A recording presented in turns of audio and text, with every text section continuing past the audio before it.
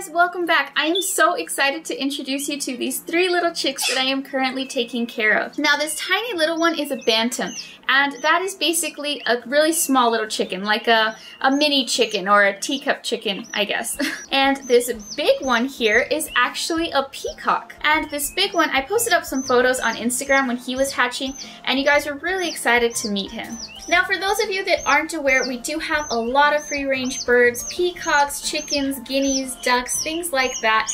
And I don't include them in the All My Pets video because they are free range, so therefore it's hard to keep track of all of them. So let me tell you how I came about having these three little chicks that currently all they want to do is cuddle and go to sleep right now. So the tiny little chicken, you've actually met his mother if you've watched my chick and duckling care video.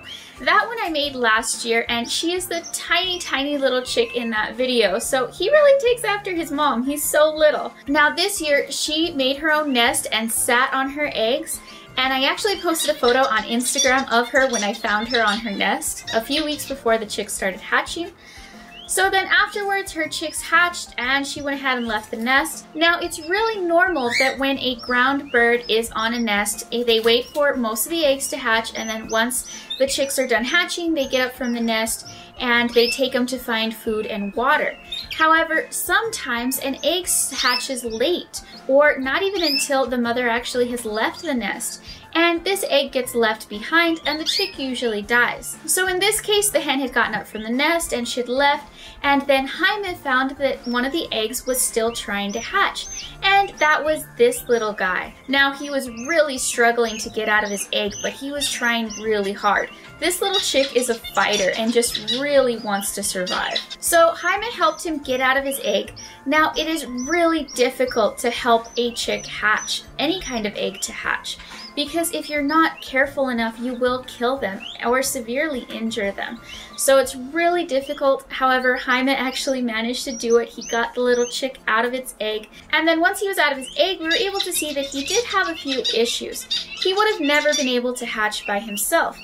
His beak is pretty crooked and then he only has one eye that has developed. The other eye just isn't even there. And the eye that has developed isn't very useful. From what I can tell, it hasn't developed all the way, and I think that he can see shadows but he can't see much more than that. But the little chick was such a fighter and he really wanted to survive, so we wanted to help him. And he can't eat by himself, so we have to hand feed him. I've been pretty much caring for him several times a day, hand feeding him. And the issue is, is that chicks actually learn how to eat by watching other chickens. They see them pecking at something and they go and try to do that and they learn how to eat. But this little chick is blind, so he can't learn how to eat like that. And because he's blind, he still hasn't learned how to eat by himself.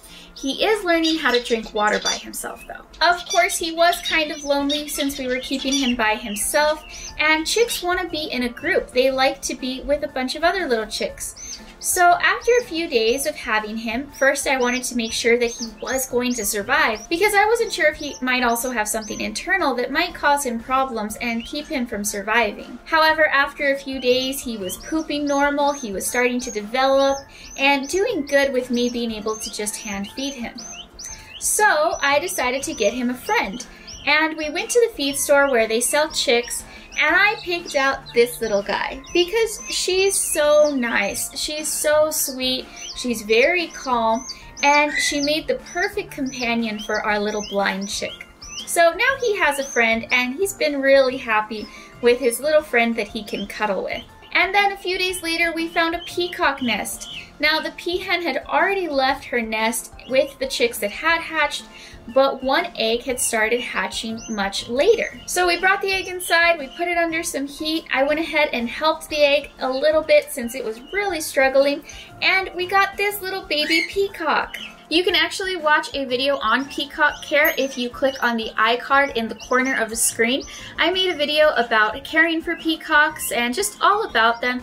And it's a really cool video because all of the footage is actually our peacocks here on the farm. So this little peacock hatched and by now he can't go with his mother and all of his siblings because he is a day younger than them and that does have a significant difference on how developed they are.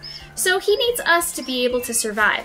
Now, luckily, I was able to get him hatching on video, so you can go ahead and see that here, where I help him a little bit. His beak's kind of coming out of one side, his foot's coming out of another side, and afterwards he's so exhausted. After coming out of an egg, they don't really know which way's up and which way's down, or how to sit right. So they kind of flop around, they're all wet, and, you know, life is a struggle from the very beginning, but they try really, really hard.